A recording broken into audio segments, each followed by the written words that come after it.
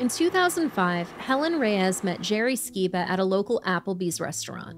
Their relationship moved fast, and Helen soon became pregnant. On July 6, 2006, 26 year old Helen gave birth to Teghan Alyssa Skiba in Raleigh, North Carolina. She was a healthy baby with brown hair and brown eyes. Her family affectionately referred to her as Teagy.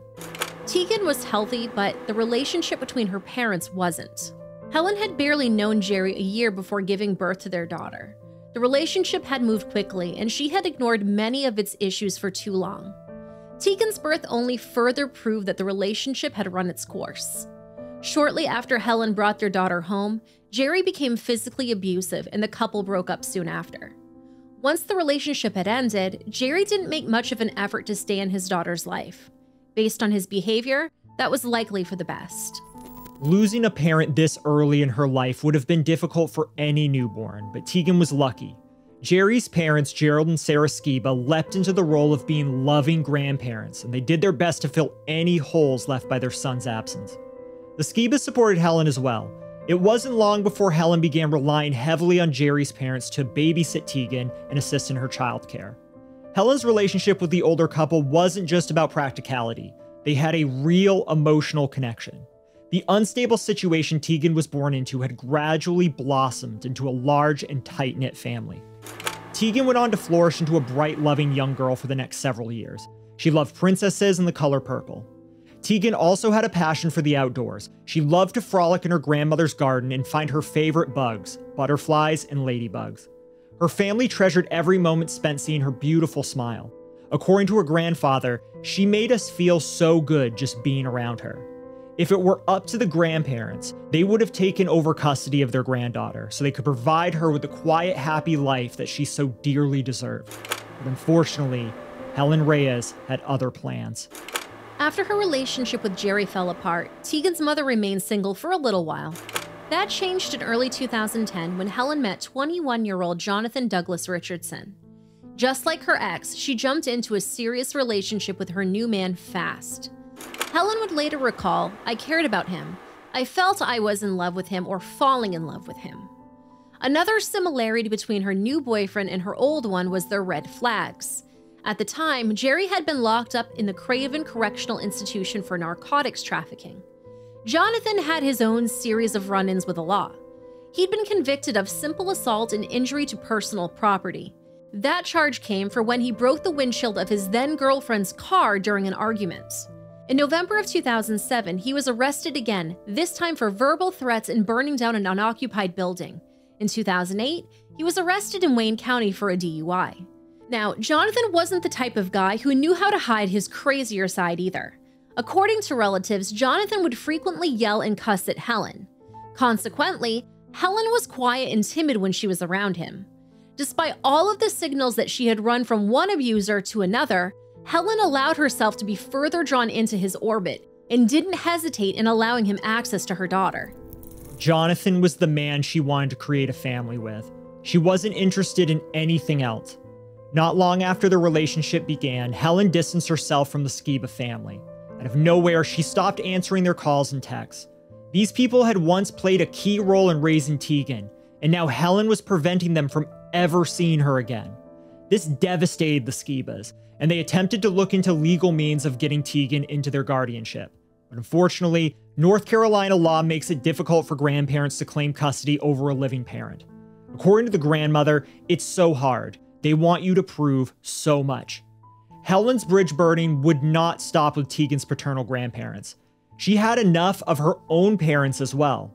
At the time, Helen was living with her family while she got back on her feet. Tension rose as her own family members didn't approve of Jonathan for obvious reasons. Around June of 2010, Helen and her mother Maria had a blowout fight that resulted in Helen deciding to move out to live with Jonathan permanently. Abruptly yanking Teghan away from her robust support system and gallivanting with her new man would be extremely irresponsible, even if the guy was Prince Charming. The relationship was young. Helen didn't really know this man or how'd he treat her daughter. She didn't even know if this relationship would last or if she was pointlessly getting her daughter emotionally attached to a summer fling. What Helen did know is how Jonathan treated her. He was verbally abusive and aggressive. Nevertheless, she decided to move in with him. There was only one more massive issue with this plan. Jonathan didn't have a suitable house to move into, and he didn't even have an apartment either. Instead, Jonathan stayed in what amounted to be a dolled up shed in his grandparents' backyard. The tin roof 20 by 20 foot structure sat approximately 150 feet away from the main house. His grandparents, the Creeches, allowed him to stay there in hopes that he'd get his life together. But why stay with them rather than his own parents? Jonathan had an extremely rocky relationship with his parents. His mother, Sandy Creech, was accused of hiring a hitman to assassinate his father, Doug Richardson. Sandy was taken to court and found not guilty of any wrongdoing, and Doug survived the attack after being shot in the head. Even though Jonathan was a year old at this time, the incident left their relationship strained. His father gained primary custody, but his experience made him neglectful and physically abusive. Jonathan's mother suffered from mental illnesses of her own and was a frequent narcotics user. That's why Jonathan was staying in a shed in his grandparents' yard rather than living with his parents. Jonathan's shed may have been sufficient for a broke man in his early 20s, but it was far from an ideal place to raise a three year old child. The shed had a burgundy door and four windows, two in the front and two in the back. It had electricity, but no running water or bathroom. The Creeches allowed those living in the shed to come inside and use their restroom, but this only happened on occasion. Instead, the inhabitants of the shed would often just defecate inside of it. It also lacked a kitchen, which is probably for the best given what we just shared. In the shed, Helen, Jonathan, and Teghan all slept together on a single air mattress on the floor. According to neighbors, Teghan's time at the shed wasn't entirely miserable. They recalled seeing her playing outside and having fun in the yard. Her mother also spoke highly of her relationship with Jonathan. She called him a father figure to her daughter. She said, quote, He was stern with her at times, but he showed that he loved and cared for her. I trusted him, and I trusted his word. Teghan said she really liked him and that she wanted him to be her dad. End quote. That was the fantasy world that Helen sold herself and tried to sell everyone else. The reality of life living in that shed was far darker. Jonathan had an uncontrollable temper that caused him to lash out at Helen and his family. His grandmother admitted to being afraid of him. He was abusive to everyone in his life, and three year old Teghan was no exception. Helen claims she attempted to set boundaries with Jonathan on how he treated her daughter, but it's clear that this was not a priority for her. On one occasion, he stuck a cigarette in Teghan's mouth and placed a beer can in front of her. Helen scolded him for this, but Jonathan didn't care. Teghan, who mind you was three years old at the time, was frequently forced to drink alcohol. Another item of note is that Teghan regularly had bathroom accidents. Since the shed had no running water or toilet, poor Teghan was left with no other option. It wasn't unusual for her to sleep in her own filth. The little girl was deprived of any dignity, and Jonathan would punish her for these accidents. Teghan also had a habit of getting mysterious injuries while with Jonathan. Helen once left Teghan with him while she went to Walmart. She returned to her having a cut on her head. Jonathan claims she fell off her bike. Another time they went to the beach together and Teghan's eye was injured. Jonathan said it was a wave. On another occasion, Helen returned home to find Teghan covered in welts. According to Helen, quote, I went inside and grabbed her and held her and told her that I loved her. He told me that he had whipped her for throwing up on his chair. He had whipped her with a power cord, end quote. Helen said she was fiercely against the abuse and argued with Jonathan every time it happened. Allegedly, she almost broke up with him after the incident with the power cord. But regardless, the fact remains she kept Teghan housed with him and frequently left the two alone together. The way Helen explained things, Jonathan was loving at first and slowly became violent. And at that point, she became too afraid to leave. But her actions painted a much different picture. In early July of 2010, Helen Reyes knew that she needed to find a place for Teghan to stay. Helen was planning on leaving for New Mexico to participate in the Army Reserves training. Now, who did she decide to leave her daughter with? Was it Gerald and Sarah Skiba, who babysat her and loved her before Helen had ghosted them?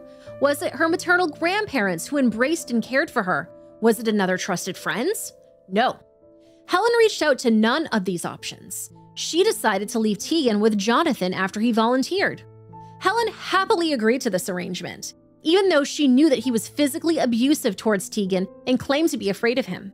She agreed to leave her daughter with a man who liked to force feed her alcohol. To the surprise of no one, Jonathan didn't suddenly turn a new leaf once he took on the responsibility of watching Teghan for 10 days when Helen was gone. Instead, He put her through a level of torment that brought the hospital and law enforcement personnel to tears. During the 10 days Teghan was left with Jonathan, he put her through unimaginable suffering. He restrained her by her arms and whipped her with an electrical cord. At one point, Teghan was so desperate to escape, she yanked against the restraint so hard that she broke bones in her arm and wrist. Jonathan's grandmother walked towards the shed and noticed that the doorsteps were sprayed in feces. She knocked on the door and heard her grandson snap at Teghan not to answer it. During this time, Jonathan didn't take Teghan inside to use his grandparents' bathroom and took glee in forcing her to have these accidents. A video taken at 2:31 a.m. on July 10, 2010 on Jonathan's camera shows Teghan in a pink shirt and dark pants with her arms outstretched, facing a wall and repeating a half a dozen times this phrase, "When I have to pee, I promise I will tell someone." She's then interrupted by Jonathan shouting at her to speak up. She repeats the phrase four more times louder while in visible distress. Not only did Jonathan force her to beg for mercy, he recorded some of the events for his viewing pleasure. One of the cruelest acts was done to her fingers. He held her tiny fingertips with a plier like instrument to keep her from pulling away, and then jammed something under her fingernail and pulled upwards until her nail tore off. Sometimes he'd entertain himself by biting her and tearing off her flesh. Other times, Jonathan aggressively forced her to endure SA. There was no line that he wouldn't cross during his alone time with Teghan. It's a testament to her courageous spirit that she survived even one day with him, let alone 10 but she couldn't hold on forever. On July 16, 2010, just a week and a half after her fourth birthday, Teghan defecated on the bed she shared with Jonathan. He flew into a rage. He grabbed an extension cord and whipped her, striking her in the head. The strength of this blow, combined with her wounds, caused her to fall unconscious. Jonathan realized he had taken things too far, so he grabbed her broken body and drove her to UNC Health Johnston. When Teghan arrived at the hospital, medical staff were horrified and demanded an explanation for her injuries. Jonathan explained that she had been jumping on the bed and fell. He'd given her an ice pack and took her to the hospital when her head continued to hurt. But, of course, the little girl's body told a very different story. It is impossible to overstate how brutalized and damaged Teghan's body was.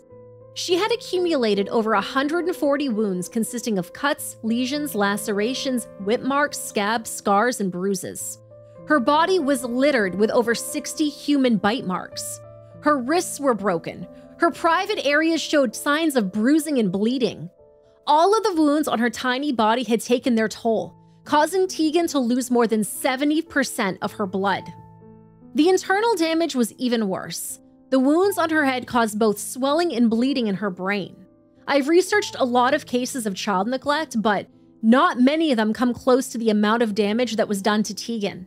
Now, according to one of the doctors who treated the little girl, there was essentially no part of her body that was spared. That was something that he had never seen in his 25 years working as a medical doctor. Now, Teghan's injuries weren't just severe, they were shocking and barbaric. Consequently, when Jonathan strolled up nonchalantly talking about how the child fell off a mattress, everybody knew that that excuse was ridiculous. One nurse named Mary Butler was so horrified and enraged by Teghan's injuries that she confronted Jonathan directly. Jonathan sensed that she wasn't buying his lies, so he began making excuses about how he needed to move his truck. Mary knew she couldn't let him leave the ER and chased after him. She was able to grab him by the throat and wrestled him back into the ER. Mary's courageous actions allowed police to quickly take Jonathan into custody. Without her intervention, Jonathan most likely would have gotten into his truck and skipped town. While Mary apprehended Jonathan, other medical personnel worked frantically to try and save Teghan's life. Her savage injuries left her knocking on death's door. One doctor recalled that she was so critically ill, so people were acting very, very quickly. Although the doctors worked feverishly, they couldn't make up for the damage that was done to Teghan. She was soon transferred to UNC Medical Center Chapel Hill and put on life support.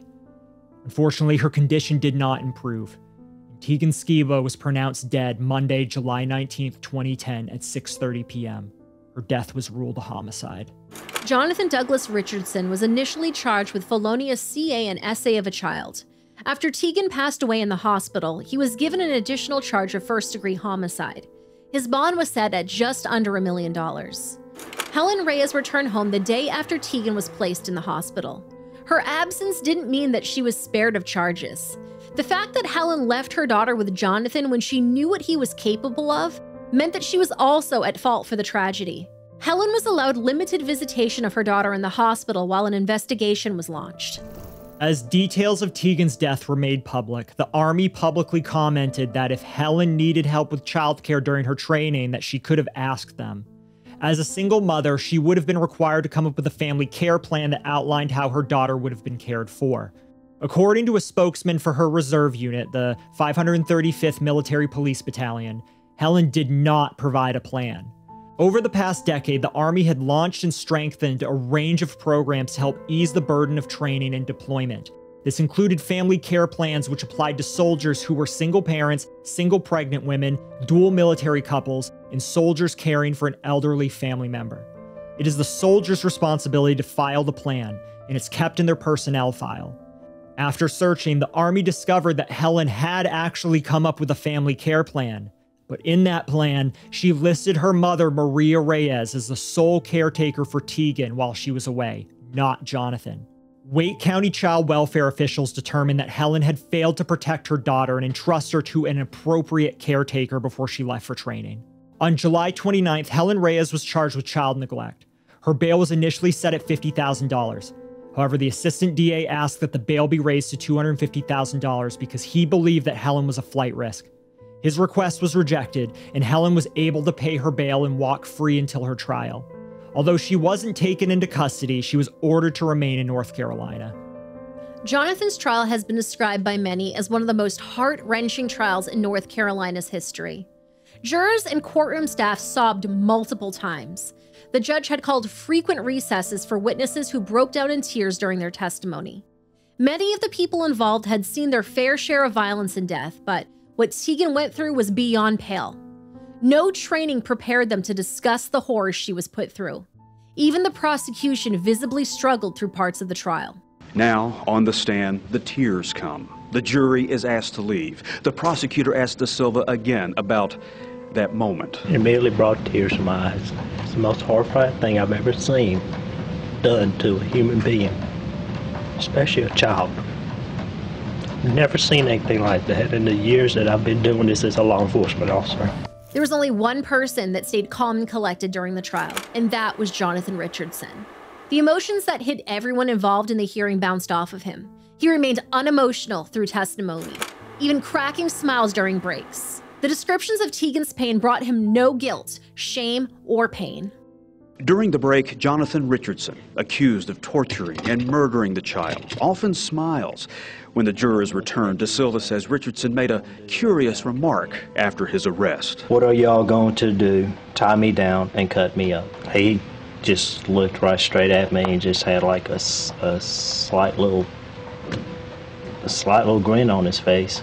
On April 4, 2014, Jonathan Richardson, now 25 years old, was found guilty and convicted on charges of first degree homicide, first degree kidnapping, first degree SA of a child, and felony CA inflicting serious injury. The jury only deliberated for an hour. His sentence? Death. Return as our unanimous verdict that the defendant is guilty of first degree murder based on the theory of murder by torture and based on the felony murder rule. Again, expressionless. But behind him, Richardson's mother in the brown sweater wept. That's his grandmother in the yellow. The crimes happened in a shed 112 feet from her house. She had let Richardson live there with Teghan's mom, his girlfriend. Both declined to comment on the verdict. Same for Teghan Skiba's grandparents. At 12:38 p.m., he walked out of the courtroom. 25 years old, a convicted murderer. Jonathan's mother, Sandy, was in the courtroom when he was handcuffed and taken back to prison after being sentenced to death. Knowing that she would likely never get to touch her son again, she shared the following words I understand the anger and bitterness because I feel it too after what happened to Teghan, but he's still my son and I love him dearly, and he needs me now more than ever. I'm in disbelief that the Jonathan I know could do this. I have to forgive him, not for him, but for myself. I hope the community can do the same. There's a lot of healing that needs to be done. That will come with time and faith in God. Now, in addition, Sandy had the following words for Teghan's family Words cannot even express how sorry I am that this happened. My heart goes out to them and the pain that they've had to go through. I can't imagine what they've gone through. I'm just so sorry. I just didn't know. I had no idea that Teghan was there. I just didn't know. I just had no idea. I would have done something had I only known, and I'm hoping they can heal because I know the pain is horrible for them and has been. It would take another half decade for Helen Reyes to be brought to justice. Jonathan may have behaved monstrously, but it was Helen's carelessness that enabled him. On March 6, 2019, she was found guilty of child neglect and sentenced to a minimum of only 18 months in prison. According to Johnston County Sheriff Steve Bizzell, quote, she neglected to carry out her motherly duties. She had witnessed her child being beaten at the hands of Jonathan Richardson before she left. So yes, she was to blame for this. Children are helpless. We have a so-called mother that just walked away, end quote. Teghan's case shook Wake and Johnston County to their core. Jurors had to be bussed in and out of neighboring Harnett County to limit bias in the jury. At least one juror was confronted by a citizen at Golden Corral who emphatically told them to convict Jonathan. Thousands were counting on the prosecution and jury to bring him to justice. The community's rage wasn't just targeted at Jonathan. His grandparents faced harsh scrutiny as well. Teghan's abuse had occurred right under their noses. On one occasion, Mrs. Creech saw Teghan walking around with a black eye. She accepted without question Helen's excuse that the girl fell. Sometimes she'd tell Jonathan that his living situation was inappropriate for a child, but he always got aggressive and defensive when it was brought up. So she dropped the subject. Mrs. Creech considered reporting the situation to Child Protective Services, but abandoned the idea because she didn't want Helen to lose custody of her child. If Mrs. Creech hadn't turned a blind eye to the truth, Teghan could still have been removed from Helen's custody and placed into the care of her loving grandparents, Gerald and Sarah Skiba. Many in the community saw Jonathan's grandparents just as guilty as Helen. Some, however, believed that people were too hard on the Creeches. Pastor Dennis Pollock was a vocal defender of the couple. He said, quote, I hear people talk saying they should have known what was going on in their backyard. I understand that but we know people that their teenagers down the hall were doing terrible things on the computer and they didn't know about it. I know that the Creeches did not know that child was being abused, or they would have done something about it, end quote. It's hard to say how valid Pastor Pollock's defense of the Creeches is. While it's true they likely didn't know the extent of what was going on, Mrs. Creech admitted to seeing Teghan sporting a black eye. She also heard her son shout at her. Not only that, consider the distance between the shed and the house. Here is a Google Earth shot of 750 Old Sanders Road. Based on the map dimensions, this shed is roughly 150 feet from the house. I find it difficult to believe that at such close distance between these two buildings, that they couldn't hear a child screaming from being heinously tortured over the course of 10 days. Surely they would have heard something at least once during that period of time, wouldn't they? Teghan's case came at a dark time in Johnston County's history. In a short period of time, they had three other DV cases that robbed the lives of their victims. On July 20th, 2010, Teghan and the other victims were honored at a vigil. Gatherers met with candles to mourn and remember the lost lives. The song Fly Like an Eagle was sung as tribute. Teghan's funeral services were private. She was laid to rest at the Raleigh Memorial Park. In an online memorial, Teghan's paternal grandparents, Gerald and Sarah Skiba, left the following message. Quote, when you left us, it felt by you leaving half of my heart was taken too. It hurts so much. Every day, the pool is not the same without you. Your rock with your name on it, your flower bed. Every Saturday morning, your first words are, the sun is shining, it's a sunny day. Then you would want Papa or Grandma to make you maple oatmeal. So you could go outside and play with Papa in the pool. Play with the pink car her dad got for her. She outgrew it but wouldn't stop playing with it, then play with the soccer balls later. Teghan loved art, finger painting, making things with her different colored clay. We had so many great times. Grandma and I couldn't wait to see you. Being around you made us so happy. We miss you, Teghan, our Tigi. End quote. As of the date of this recording, in August of 2023, if Teghan Skiba was still alive, she would be 17 years old.